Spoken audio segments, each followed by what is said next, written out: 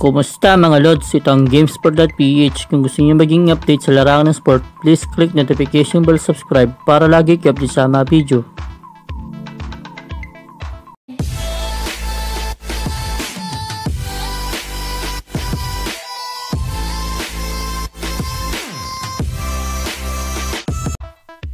NBA Draft Combine nagaganapin sa buwan ng Unyo 21 hanggang 27 sa taong ito. Sa NBA Draft Combine, dito nagtipon-tipon ang mga young prospect na sasali sa NBA Draft.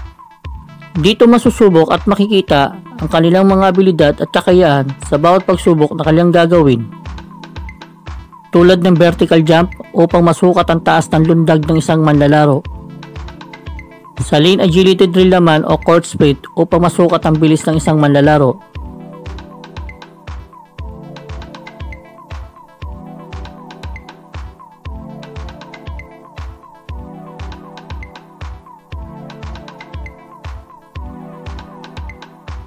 Kung sakali man sasali si Kay Soto sa NBA Draft Combine upang sumali sa NBA Draft ngayong taon, ay kaya niya lampasan lahat ng pagsubok na ito dahil sa marami na siyang pagsubok o training niya pagdahanan.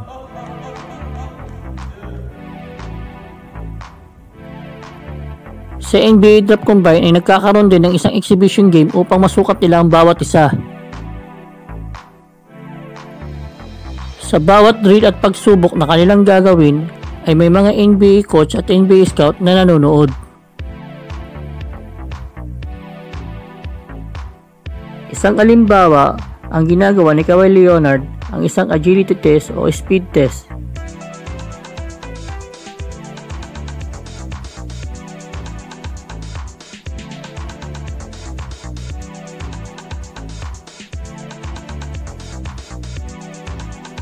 Ito naman isang alimbawa ng court sprint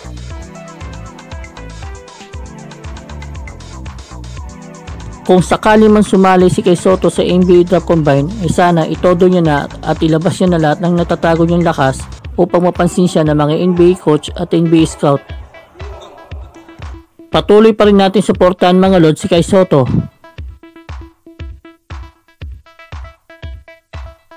Hanggang dito na lang mga lods. Hanggang sa muli. Maraming salamat. God bless.